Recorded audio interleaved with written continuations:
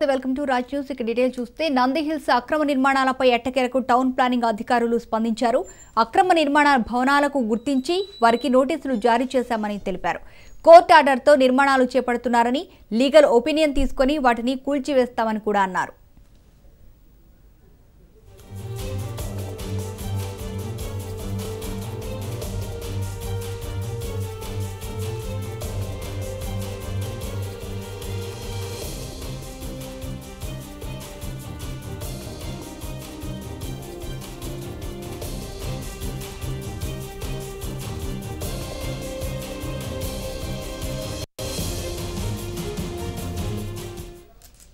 ఇదే అంశంపై town planning office శ్రీనివాస్తో మా ప్రతినిధి Pavan face to face.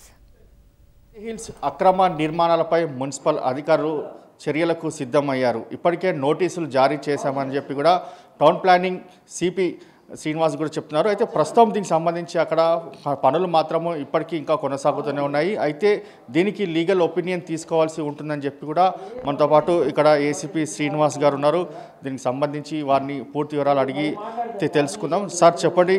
అక్కడ మీరు ఇప్పటివరకు ఎలాంటి నోటీసులు ఇష్యూ చేశారు? దానికి సంబంధించిన వివరాలు చెప్పండి మేము కొత్తగా ఐడెంటిఫై చేసిన ఒక సిక్స్ బిల్డింగ్స్కి ఇనిషియల్ స్టేజ్లో ఉన్న వాటికి నోటీసులు ఆల్రెడీ ఇచ్చినాము. సెవెన్ డేస్ అయిన తర్వాత వాటికి సెకండ్ నోటీస్ ఇచ్చి ఇన్ కేసు వాళ్ళు ఏమైనా కోర్టు కేసెస్ ఉన్నాయని సబ్మిట్ చేస్తే లీగల్ ఒపీనియన్ తీసుకొని లీగల్ ఒపీనియన్ తీసుకొని మేము ఫర్దర్ యాక్షన్ తీసుకుంటాం. ఆల్రెడీ నోటీసులు అయితే ఇచ్చినాము. దాని మీద సెవెన్ డేస్ టైం కూడా ఇచ్చినాము. వాళ్ళు రిప్లై సబ్మిట్ చేస్తే దాన్ని ఎగ్జామిన్ చేసి ఫర్దర్ యాక్షన్ అనేది ఇనిషియేట్ చేస్తాం. ఇప్పటికి ఎన్ని ఐడెంటిఫై చేస్తే సార్ దీనికి సంబంధించి? మా కొత్తగా ఒక ఆరు కన్స్ట్రక్షన్స్కి ఐడెంటిఫై చేసినామండి. ఆరింటికి నోటీసులు ఇచ్చినాము. అంటే ఓవరాల్గా మాత్రం దానికి సంబంధించి కన్స్ట్రక్షన్ ద్వారా మీకు ఎలాంటి పర్మిషన్ మాత్రం ఇవ్వలేదు కదా సార్ పర్మిషన్ లేదు. పర్మిషన్ లేదని మీకు గతంలో కూడా చెప్పినాము ఇప్పుడు చెప్తున్నాం పర్మిషన్ లేకుండా వాళ్ళు ల్యాండ్ డిస్ప్యూట్ ఉన్నది. ల్యాండ్ గ్రాబింగ్ కేసు ఒకటి ఫైల్ అయి ఉన్నది.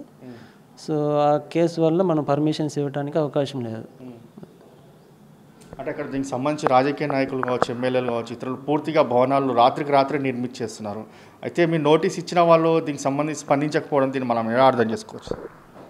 అక్కడ మాకు ఎవరు రాజకీయ నాయకులు కానీ ఎవరు పెద్దవాళ్ళు అయితే ఏం లేదు. మాకు నోటీస్ ఇస్తే అసలు ఎవరు అక్కడ కడుతున్నారో కూడా మాకు ఇన్ఫర్మేషన్ లేదు. బట్ మేమైతే నోటీస్ ఇస్తున్నాము అక్కడ ఉన్న వాచ్మెన్లకి అయితే ఇచ్చేసి వస్తున్నాం. అంటే దీనికి సంబంధించి లీగల్ ఒపీనియన్ కూడా తీసుకోవాలంటున్నారు సార్.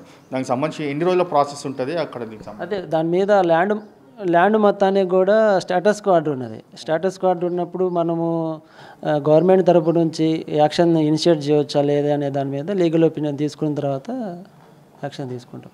దాని మీద లీగల్ ఒపీనియన్ అయితే కంపల్సరీ తీసుకోవాలి. ఎందుకంటే హానరబుల్ కోర్టు వాళ్ళు స్టేటస్ కో ఆర్డర్ ఇచ్చిన తర్వాత మనం యాక్షన్ ఇనిషియేట్ చేయాలంటే అది కంటెంప్ట్ ఆఫ్ కోర్టు కేసు అవుతుందా లేకపోతే మనం కంటెంప్ట్ ఫైల్ చేసి యాక్షన్ తీసుకోవాలనే దాని మీద లీగల్ ఒపీనియన్ తీసుకొని తర్వాత ఫర్దర్ యాక్షన్ తీసుకోవడానికి మేము ప్రయత్నం చేస్తున్నాం. ఇప్పటికి ఎన్ని నోటీసులు జారీ చేశారు సార్ దీనికి సంబంధించి? అదే అన్నిటికీ ఏదైతే ఇనిషియల్ స్టేజ్లో ఉన్న కన్స్ట్రక్షన్స్ ఉన్నావో వాటన్నిటికి కూడా పిల్లర్స్ స్టేజ్లో ఉన్నవి మొత్తం కంప్లీట్ స్టేజ్లో అయితే ఏం బిల్డింగ్ అవ్వలేదు. కొత్తగా కన్స్ట్రక్షన్ చేస్తున్న ఐదు ఆరు బిల్డింగ్ల వరకు నోటీసులు అయితే ఇచ్చినాం. ఆరు నోటీసులు ఇచ్చినాం.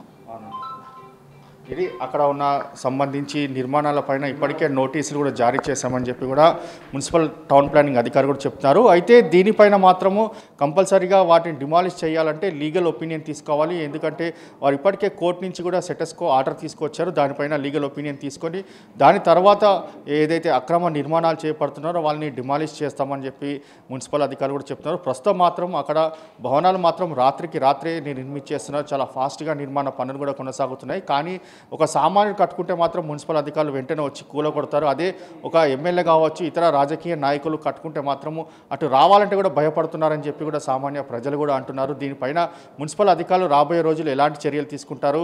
లేకపోతే దీనికి సంబంధించి అలాగని వదిలేస్తారా? అనేది మాత్రం ఇంకా వేచి చూడాల్సిన పరిస్థితి కూడా కనిపిస్తుంది.